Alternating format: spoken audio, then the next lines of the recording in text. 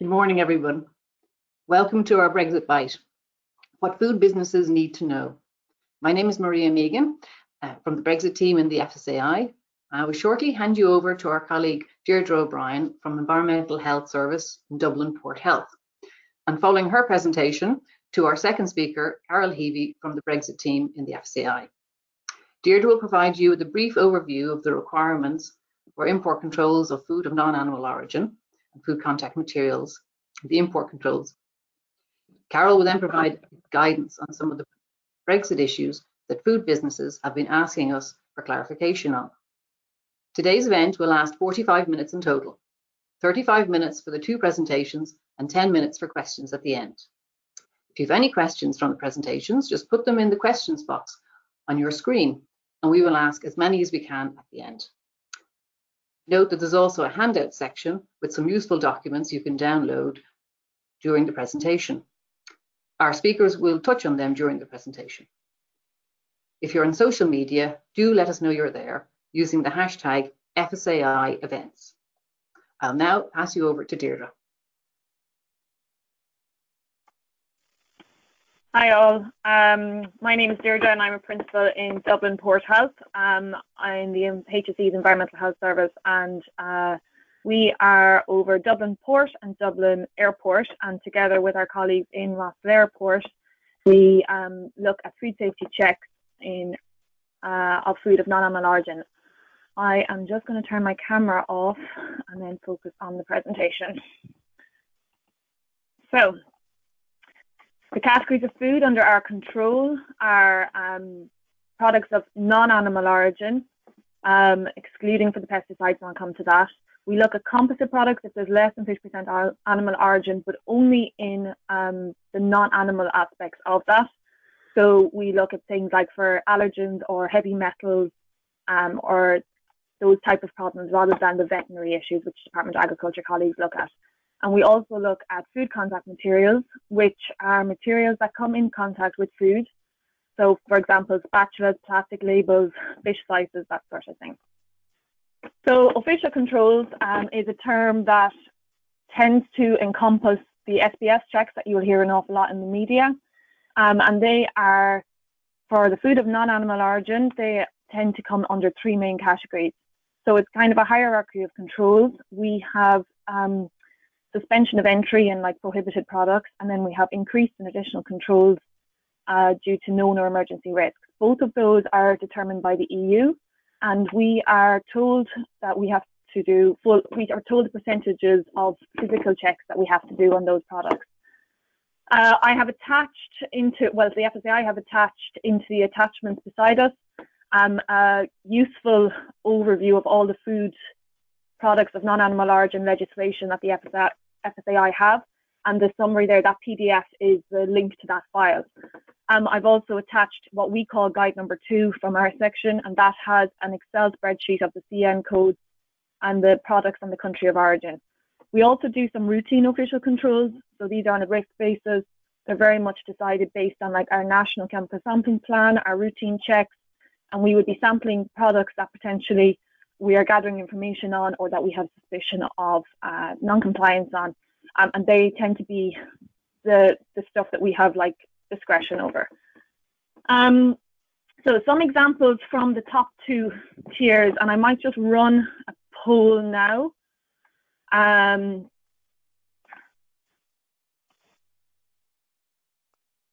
just going to run a poll. So the question is, if you import uh, products from Great Britain, do you import any high-risk foods of non-animal origin? And I'm probably going to then just go through what examples there might be. So they tend to be very specific. These, this list is very specific to product and country of origin. So it's not just, it doesn't just say all of rice, it's rice from China.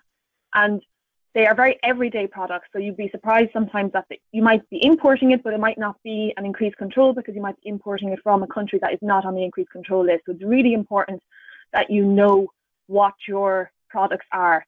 Um, so from from here we have rice, and it's rice from China. We'd have alpha, aflatoxins in uh, capsicum, uh, so it's a 20% physical exam rate on that. There's a 10% uh, inspection rate on betel leaves from Bangladesh, Uh, we also have, we check for salmonella in black pepper and we check for uh, uh, sesame seeds as well. So the other thing to be aware of there is that sometimes there is multiple, so you might have one product, but multiple countries that need to be checked from. So say, for example, peanuts, there is Senegal, Madagascar, Bolivia, China, Gambia, Ghana, India, and Sudan. Those countries all need to, if you're bringing in peanuts from any of those countries, those countries need to, um, are subject to increased controls. Just to be clear, uh, the pesticides um, are not under our control. They're under the Department of Agriculture control. There's a link there for them to, if you want more information from them. But we work very closely with them and it's under the same regulation. So at the end of uh, December, Great Britain will become a third country. And a third country is anything outside the EU. So once it's outside the EU, checks have to happen on it and controls have to happen on it. If you are importing products through Great Britain into Ireland, which will then become the first point of entry, we have to carry out import controls checks on them.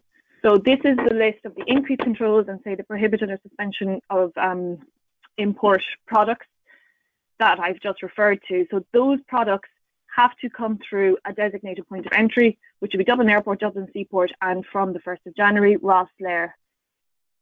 If the product originates in Great Britain, so say you are growing or manufacturing a product in Great Britain, those are not currently under increased controls, but there's no guarantee that that won't be the case in the future. So this could happen where the EU decides there's a risk coming from a product and we have to put it on our import control checks. The only exception to that is sprouting seeds, but I don't expect that that is a huge, um, there's a huge number of people who do that. Um, so if, so the good news, oh, sorry. The good news is most of the products under our control are green routed and don't require any intervention. Um, and at the end of the transition period, we will go and we are trying and doing what we can to minimize the impact on uh, the import and the, the flow through the ports. So we are moving to a 24-7 operation. Um, we can complete the checks before departure from Great Britain if we have received documentation and only a small percentage of our checks require physical check. So most of our checks are documentary checks, and then a small percentage of that will be a physical check. Um, so if we have received the documentation in advance of that consignment um, departing the UK, we can send our control to revenue, so be that a release or a check, prior to you even hopping on the ferry. You may not rely, you may not know that, but we would, if we have received it and we have cleared it, it will go to revenue and therefore they when when you arrive on the in Dublin, you will receive a green routing from Environmental Health Control if that check was satisfactory. So when you're sending the documents to, for us to check, there are two different routes depending on if the product was subject to increased control or is a routine check. So if it's subject to increased control, it has to be submitted through traces. And I have another slide on that. And this is a legal requirement. This is an EU piece. All other products can be sent through by email, and I have the email addresses on a different side. We are asking you to put in the subject line in a set format so that we are able to risk assess based on your time and arrival, the products you're bringing in, and the country of origin. If if you follow this, we'll be able to risk assess and get to the point of um, how and what like you're bringing in. So when we see we have like you know hundreds of, of consignments coming through every day, we want to be able to look at our inbox very quickly and see that. Um, we ask also that if you have a, a, question or you're not sure whether or not you have to do a check or you have to submit the documents, if you send them in to us, we will do those document checks and we will release it. So if you are unsure, you can proactively send it to us anyway. Um, these are a list of the other central documents that you might um, need to have. So you need to be able to be prepared in case we come back and ask you a question. So if we ask you a question, uh, that what's in your product, say, or can you send us an ingredient list? Have you got that information to hand and can you send it back very quickly? The quicker you get back to us with any queries we have, the quicker the, the document check progresses. Um, yeah, so this is all detailed in a trader notice and we can send this out to you. So if you send us in a request, we can send you out the trader notice and we can make contact with you just to kind of clarify what products you're bringing in and if there's any kind of queries on that. So our intention is to minimize delays. And so if we get the right documents with no errors, we can complete the checks quickly. And this is Traces, and this is a new system since last December from our side. It has already been in operation from the agriculture side for a long while, so some of you might be aware of that. You have to be registered on this and you have to submit part one of what is called a Common Health Entry Document, a CHED D. And this is the main question here is who will do this for you? Um, so if you are bringing in any of those products for high risk, so I can see from the poll results, there's 18% of people who are bringing in high risk foods of non-animal origin. You need to know who it is in your area who are doing that. And some 19% people don't know. So the, the main thing there is to go back in and check what products you're bringing in and what countries of origin they are. Um, if you can, I'm just waiting for the catch up. Uh, so main thing here then is to consider who is going to submit your documentation and who was going to respond to any information that might be required or requested. We are operating 24-7, so if we come back to you with a query, we need to get a response before we can release that product. Another way of minimizing delays is prior notifying your consignment.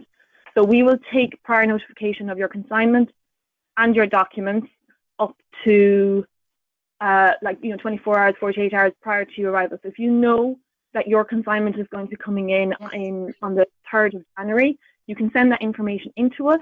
If you don't have an MRN, you put advance notice on it, and then you just send in the MRN from revenue once you receive that information, and we can release that product with revenue then once we've completed the document check.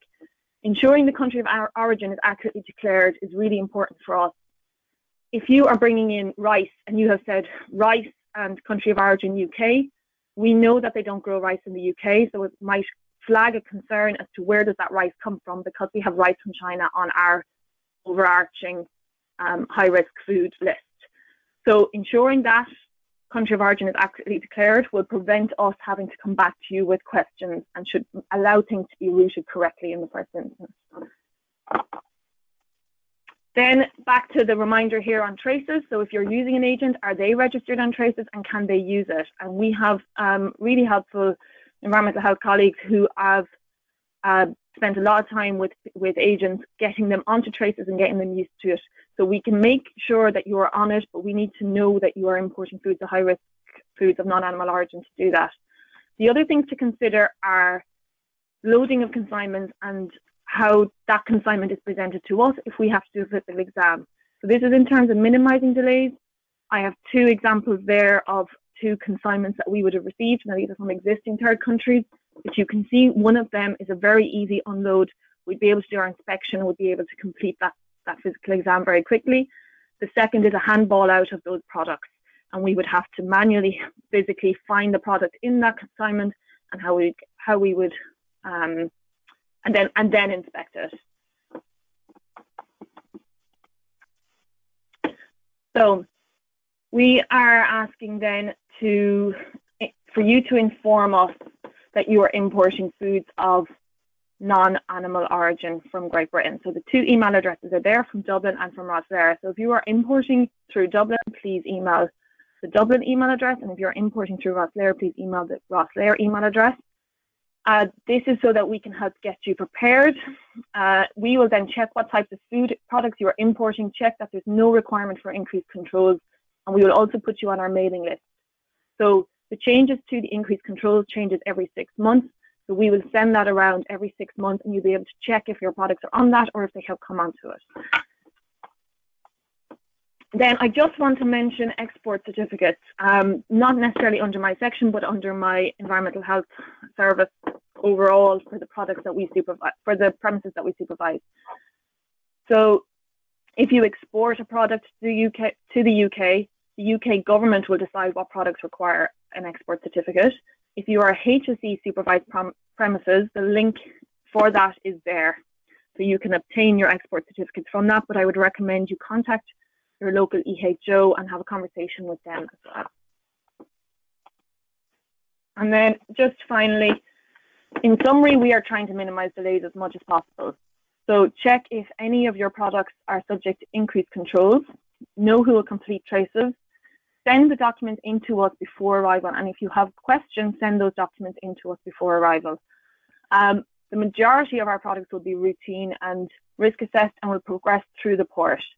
Um, and if you can, if you if you have any queries, come back and ask us.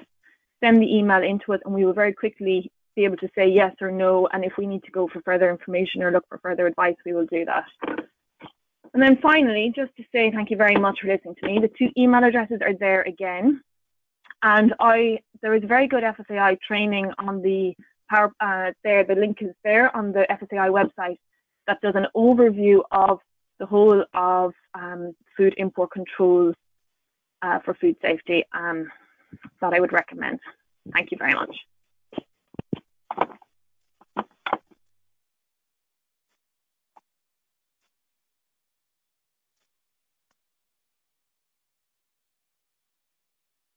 Thanks very much, Deirdre. Um, so my name is uh, Carol Heavey, and I work in the Brexit section of the Food Safety Authority of Ireland. And this morning, I'm just going to go through some of the queries that we're getting in and some of the questions that we're getting asked, and uh, to go through some of those just to clarify some things. So I'm going to come off camera now until I do the presentation, and then I'll come back on again for the question and answer session.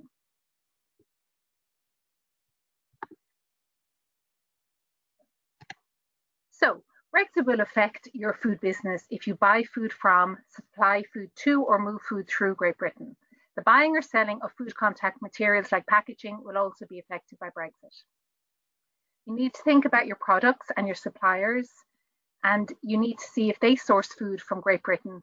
You will need to check also that they're ready for the 1st of January 2021. This is only 58 days away, so it's uh, a very short period of time to get ready.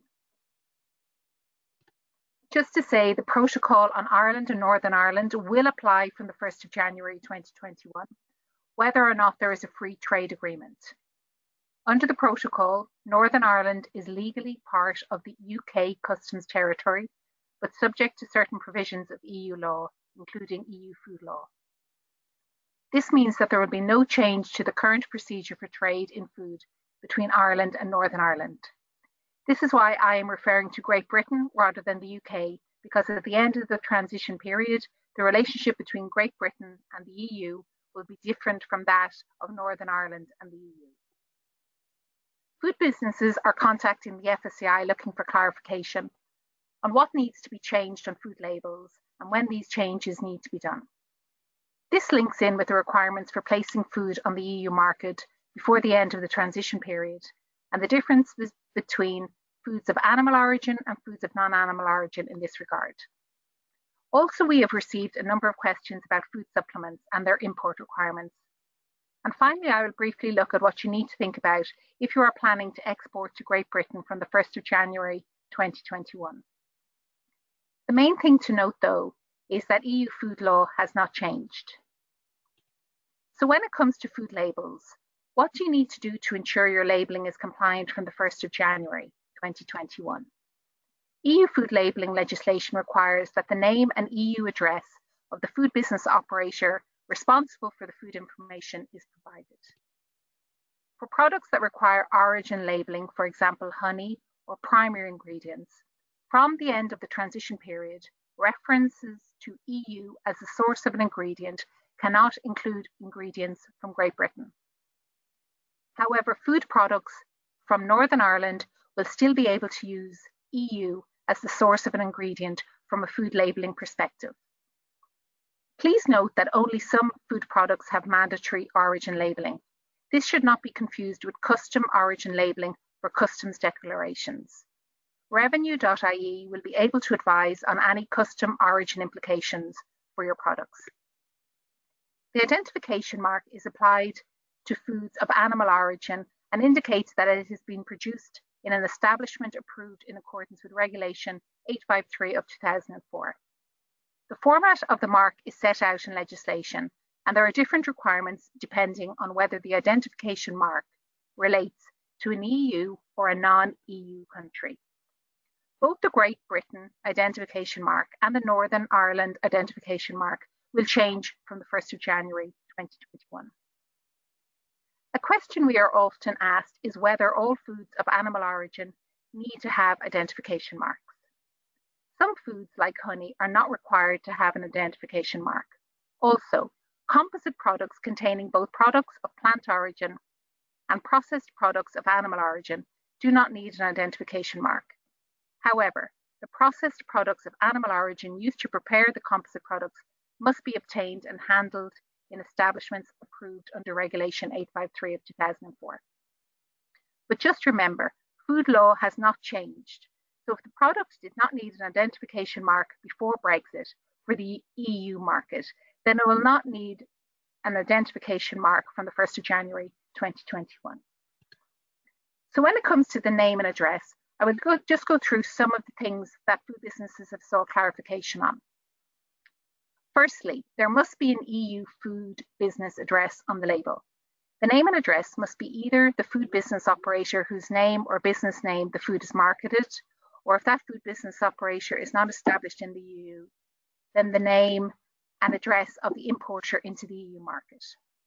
At the end of the transition period, an address in Great Britain will not comply with this requirement, and therefore the name and address of the importer into the EU market must be used. When it comes to having a UK address and an EU address on the label, this is fine. A non-EU address can be indicated on the label in addition to the EU address.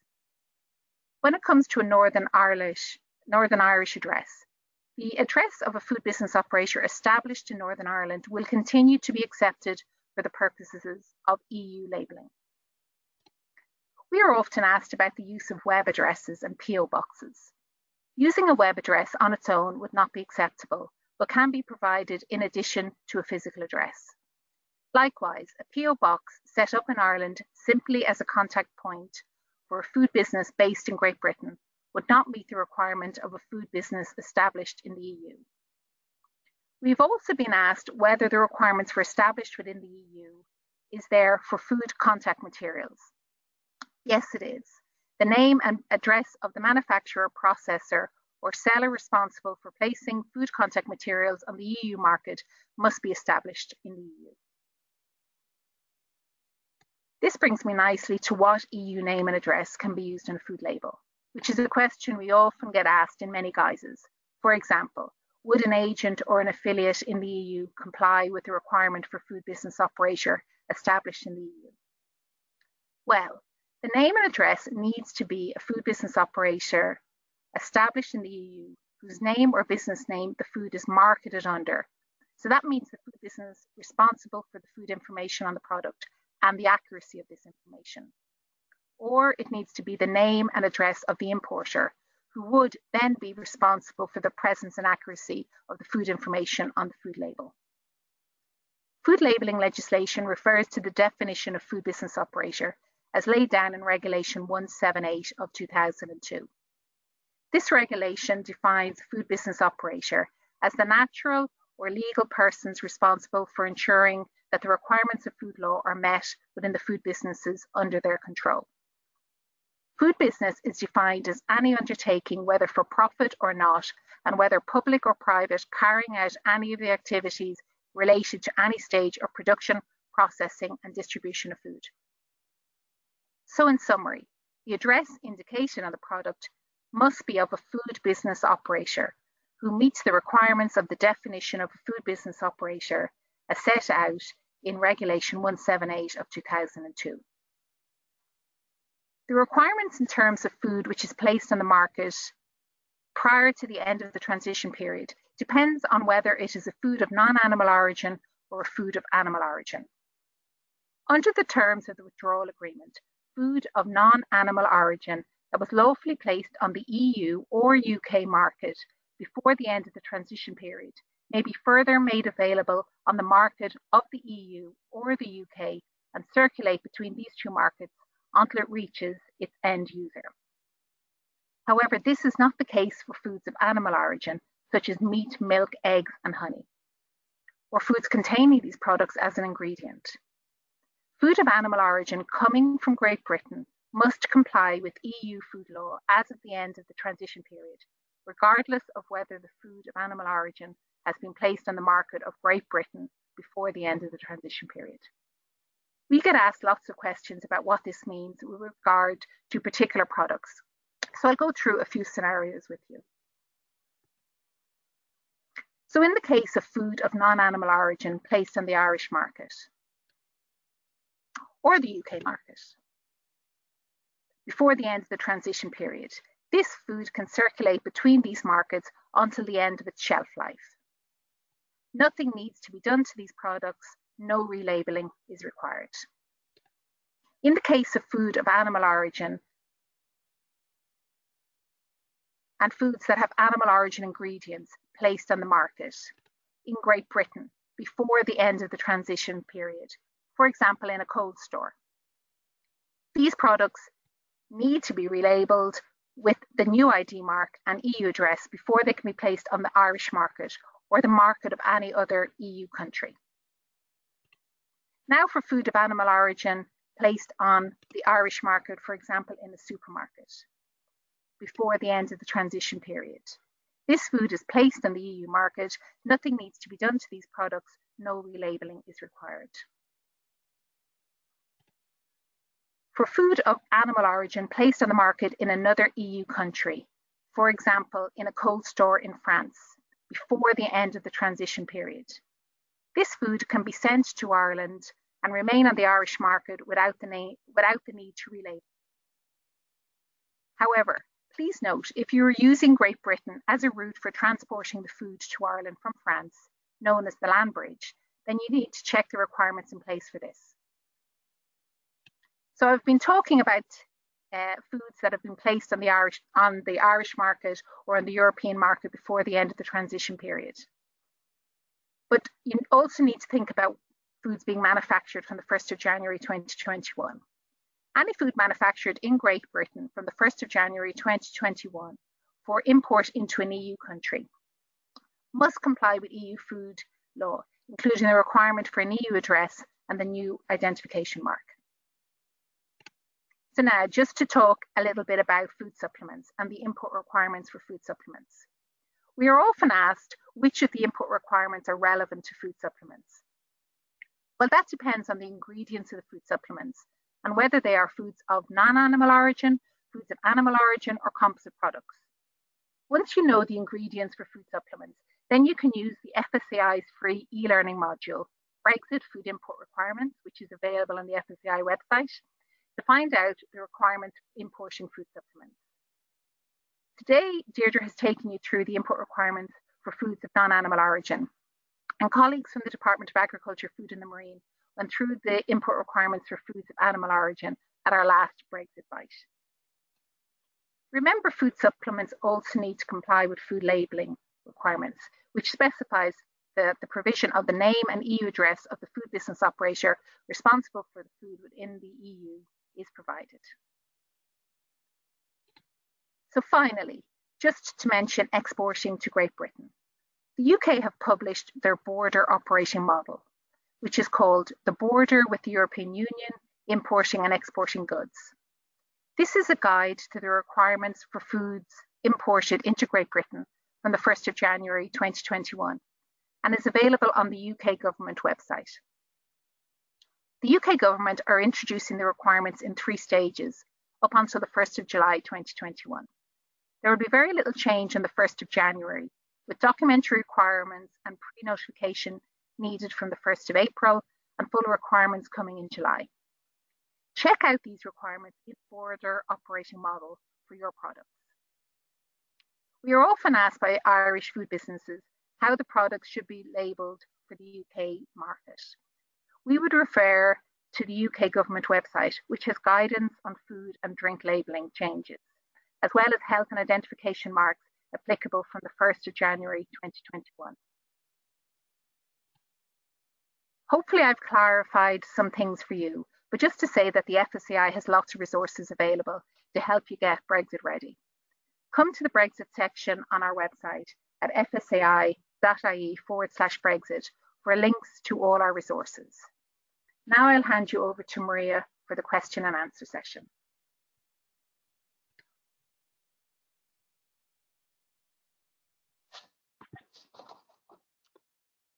That's great. Thank you both Deirdre and Carol for that. Um, and um, I'll just uh, ask you a few questions because we've had lots of questions coming in. Um, so my first question is, um, uh, we bring in ready-made vegetarian and vegan meals from the UK that might be made using rice from China. Will those consignments be stopped for checks under the emergency checks? Deirdre, would you like to answer that one? Uh, so if the ready-made meals are manufactured in the UK, then no, that is not considered part of the controls. It's only if the meals would have been brought in from China directly through the UK without having without having been um, uh, amended or added to, or, or like they'd have been imported as a whole. But if there's any questions, I would suggest you just send the documentation through to us, and we will check it and then release it if there's no issue. Okay, thanks, Deirdre. And then in, and another one um, for you. Um, this is in um, what official certificates will be required for example, the, the high risk product uh, chili from India uh, supplied from the G, from GB. So I presume that's where it's not included in the yeah. product, but it, it comes in. Basically, comes in the UK. Yeah, so the, the certificates will have accompanied the product into the UK. So you just bring the same certificates with you when you're arriving into the, into the EU, which would be Ireland. So you present those certificates that would have been provided from India with the product when arriving into the EU. And the, plus the CHED, um, the part one of the uh, Common Health Entry document. And then uh, we had a question, is there a definitive list of high risk foods? Yeah, so that's the list that's in one of the attachments. Um, now that does change and that's the reason why we would ask that you contact us and we put on the mailing list so we can notify you all the time if there's any changes. Um, but that list is uh, for the foods of uh, non-animal origin, uh, excluding the pesticides. Pesticides do their own list, but we have that list done out for our importers so that they can very quickly see all those high-risk foods and the country of origins um, from where that applies. And uh, we, we had um, a question in relation to the arrangements during um, during COVID. So, are there any easements um, uh, to uh, to help uh, importers um, in relation to um, getting their, their imports in at the moment? So um, we have already we have always been accepting scanned copies of um, certificates, and that has been the case for high risk foods of non-animal origin um, from our side for many years. I've been in post for five years, and they've been accepted as a scanned copy since then.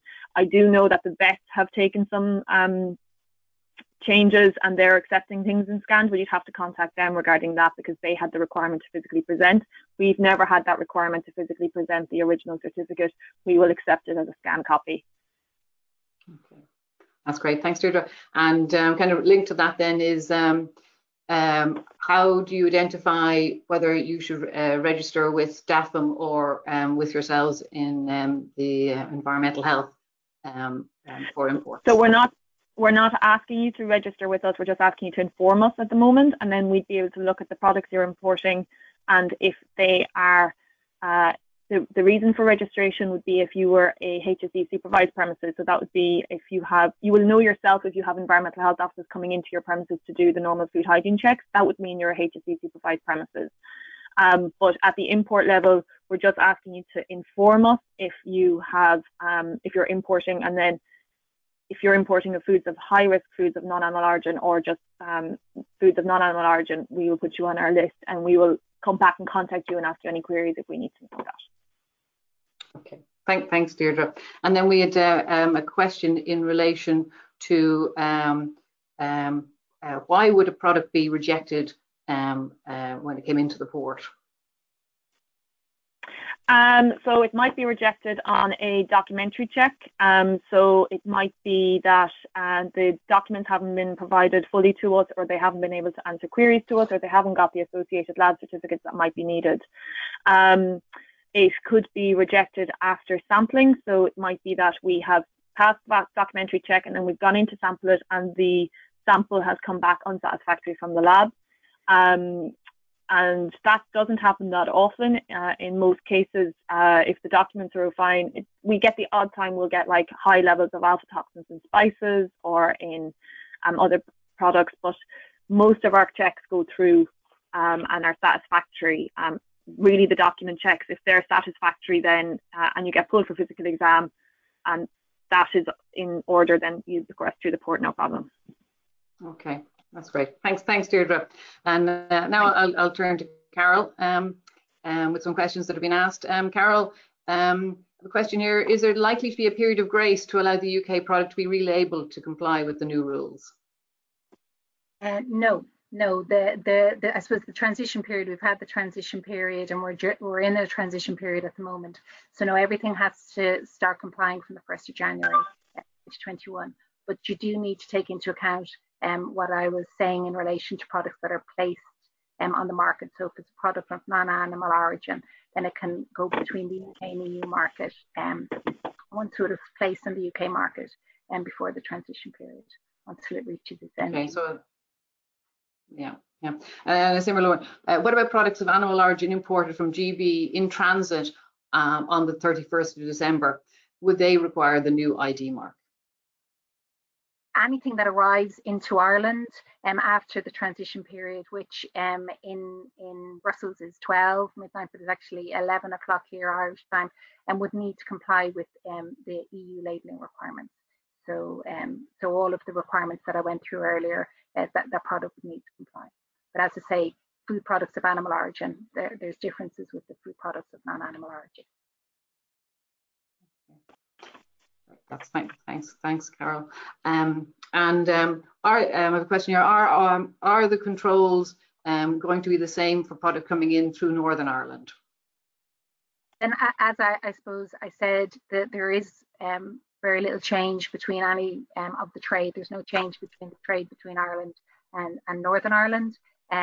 So is that in relation to labelling, Maria? What any changes that need to be made in relation to labelling? There wouldn't be any changes, but you need to take into account that uh, NI will have a new uh, ID mark, and um, so you have to take that into account. Okay, okay, thanks. Um, yeah, and there's a, there's a, another one there. Can I double check labelling requirements? If we sell product in Northern Ireland, our current EU address will suffice, and we will not need to change. Is that correct? Yes, um, then whatever they're currently using, as long as it's not a UK address, um, only on the label or a GB, sorry, a Great Britain British address only on the label. So a Northern Irish address is fine, um, or any EU member state address is fine, um, but a EU, but a, a, Great British address is no longer compliant after the 1st of January 2021, but it can be on the label in addition to an EU. Okay, and um, um, question here. Uh, we're um, a, a, GB company. If we were to set up our own company in Ireland for the purposes of complying with the FBO address requirements, would someone need to be fully employed by our company or could we use a secretary service instead? And as long as they fulfill the requirements within Regulation 178, um, so that they are an actual food business operator and um, that they that they are carrying out um, one of the food business uh, or what comes under the definition of a food business, then they would be considered a food business operator in Ireland. And for that, they would need to contact the likes of um, Deirdre um, or Deirdre's colleagues within the HSE or the Department of Agriculture, the local authority fisher or the Sea Fishery Protection Authority. So they're they're the agencies that look after um, premises within Ireland. So they need to contact whichever one is relevant to them, depending on what the product is and go through that uh, process with them to, to, to ensure that they are fulfilling the requirements within Regulation 178. Okay, great. Thanks, Carol. And then there's a question on food supplements.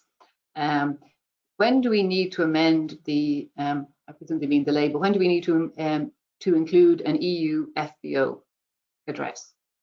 Yeah, um, so as I say, for food supplements, and, and the reason we introduced it into this uh, webinar was that people really couldn't identify themselves within the, the information that we've been um, giving out, that they couldn't see where food supplements fitted into that. So really food supplements are foods that are either foods of animal origin, food of non-animal origin, or composite products. And in that regard, if it's a food of non-animal origin, if that product was on either the UK or EU market before the end of the transition period, then that product can go between those two markets until it reaches its end user without the need for changing the label, so without the need for changing the address. If the food supplement has animal origin ingredients in it, then that uh, that change would need to be made from the from any product uh, being made available on the EU market, including Ireland, from the 1st of January. Okay, that's great. Thanks, Carol. Um, yeah, um, I'll just get one one last question. I think we have time for one last question here. Um,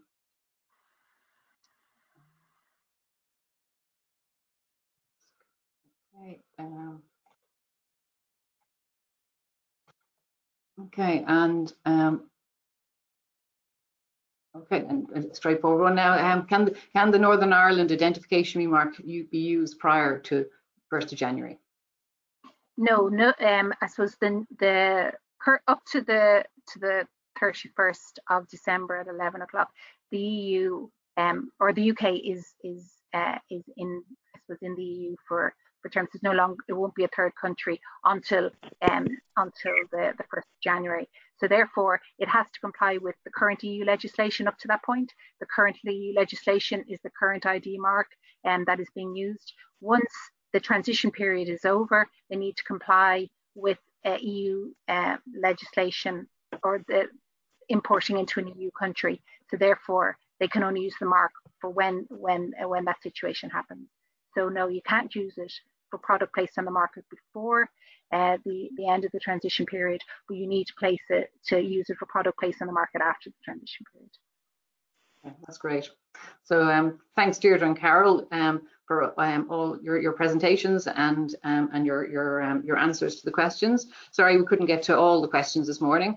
And if we didn't cover your question, um, you might like to email us on brexit at fsai.ie. And as Deirdre noted, if you're an importer of food of non-animal origin, uh, food contact materials or the composites that you mentioned there, uh, you can contact them on import control dublin at hse.ie or import control Rosslare at hse.ie, um, depending on which port you'll be using. And we'll be um, uh, compiling a question and answer um, document um, uh, following the questions generated by the Brexit Bite series, and we'll be making that available on the FCA website. And if you'd like to get any more information, as Carol mentioned, there's lots of information on our website um, on Brexit related information. Um, and fsai.ie forward slash Brexit. So a big thanks to everyone for joining us today and for participating in the poll and for your questions. Um, this webinar session um, has been recorded and will be available on the FSAI website and YouTube channels after the event. Um, it'll also be linked at the bottom of the follow-up email that you'll receive. I ask you to take a few moments, please, to complete the event survey, which will pop up after we close the webinar and will also be linked in the follow-up email that we'll send you all. We'd appreciate your feedback on it. Um, we run regu regular webinars, um, and to subscribe to these, um, please visit fsai.ie forward slash subscribe.